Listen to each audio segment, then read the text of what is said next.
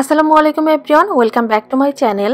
FNF cooking এর আজকের আয়োজন আপনাদেরকে তৈরি করে দেখাবো বাংলাদেশি রেস্টুরেন্ট স্টাইলে ঝটপট চিকেন ফ্রাই তৈরির একটি রেসিপি নিয়ে।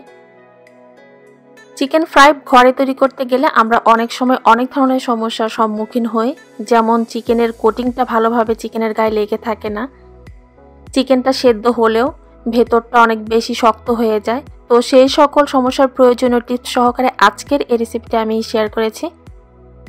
আশা করছি ঘরে সহজভাবে তৈরি করা চিকেন ফ্রাইয়ের আজকের রেসিপিটা আপনাদের কাছে ভালো লাগবে।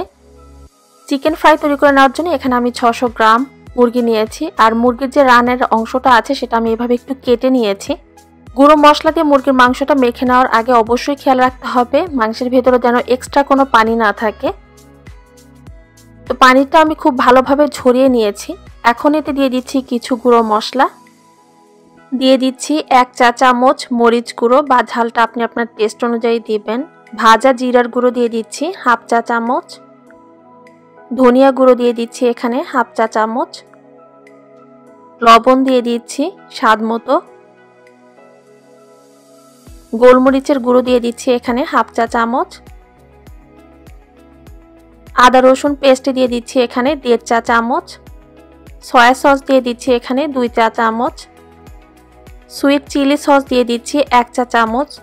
যদি সুইট চিলি সস না থাকে, এর পরিবর্তে এক চা চামচ চিনি দিয়ে দিবেন। সাদা সিরকা দিয়ে দিলাম এখানে হাফ চা চামচ। টমেটো সস দিয়ে দিলাম এখানে দেড় চা চামচ। লেবু রস দিয়ে দিচ্ছি এখানে হাফ টেবিল চামচ। তারপর একটা ডিম ভেঙে নিলাম। ডিমের সাইজটা ছোট হওয়ার কারণে পুরো ডিমটা এখানে আমি দিয়েছি।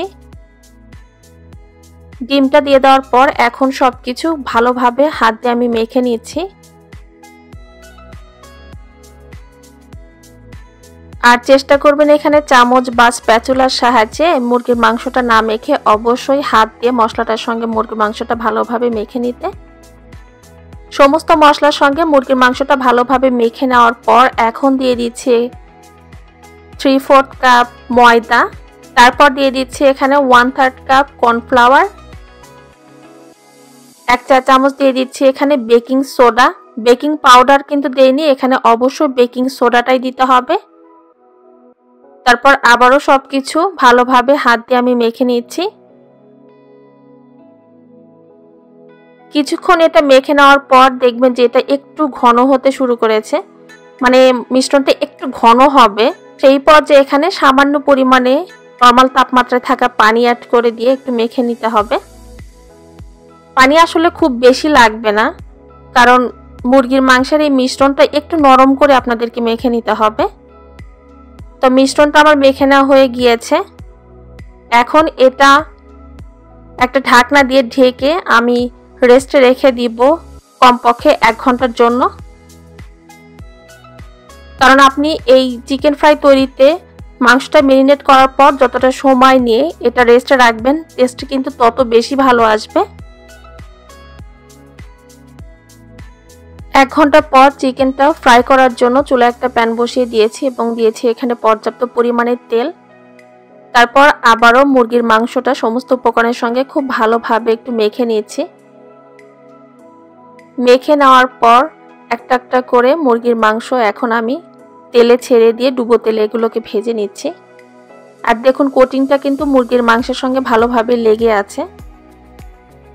অর্থাৎ এখানে মুরগির মাংসটা যে মিশ্রণের সঙ্গে আপনারা মেখে নেবেন, সেটা খুব বেশি পাতলাও হতে হবে না, আবার একেবারে যে ঘন সেরকম হলেও হবে না। অর্থাৎ মোটামুটি পাতলা করে এখানে মুরগির মাংসটা ময়দা এবং কর্নফ্লাওয়ারের মিশ্রণের সঙ্গে দিয়ে ভালোভাবে মেখে নিতে হবে।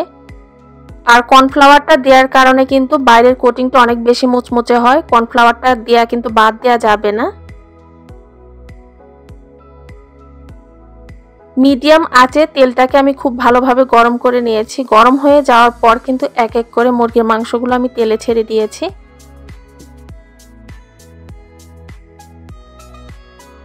মুরগির মাংসগুলো তেলে ছেড়ে দেওয়ার পর এখন চুলার আঁচটা মিডিয়ামে রেখে দুটো পাশ আমি গোল্ডেন কালার করে ভেজে নিব।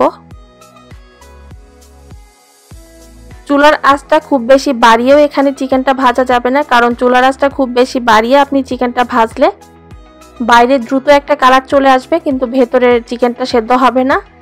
আবার চুলার আঁচটা যদি আপনি কমিয়ে এটা ভাজেন, তাহলে দেখবেন যে চিকেনটা অতিরিক্ত তেল সোপ করে নিবে।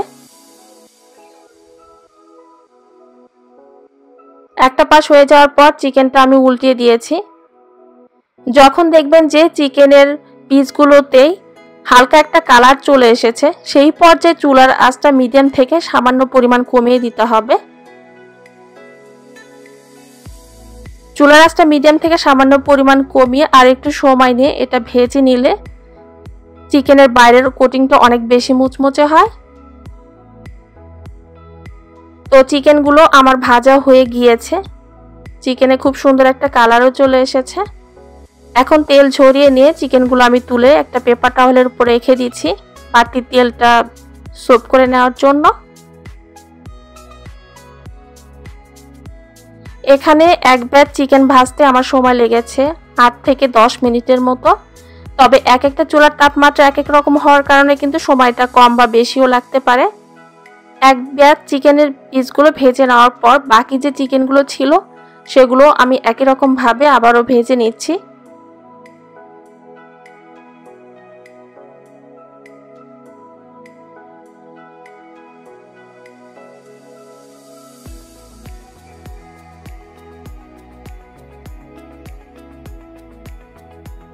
তো এগুলো আমার ভাজা হয়ে গিয়েছে, এখন এগুলো আমি তুলে নিচ্ছি।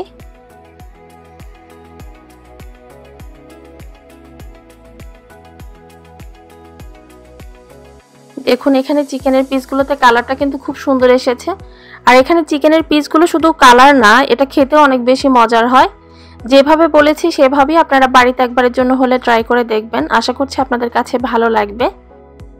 রেসিপিটি ভালো লাগলে প্লিজ রেসিপিতে একটা লাইক দিবেন এবং এই রেসিপিটি যারা আমার ফেসবুক পেজ এফএনএফ কুকিংয়ে দেখছেন এই ধরনের সহজ এবং মজার সব রেসিপি পেতে প্লিজ আমার ফেসবুক পেজটাতে একটা লাইক দিয়ে রাখবেন। সবাই ভালো থাকবেন সুস্থ থাকবেন। আমাদের সবার জন্য দোয়া করবেন। আল্লাহ হাফেজ।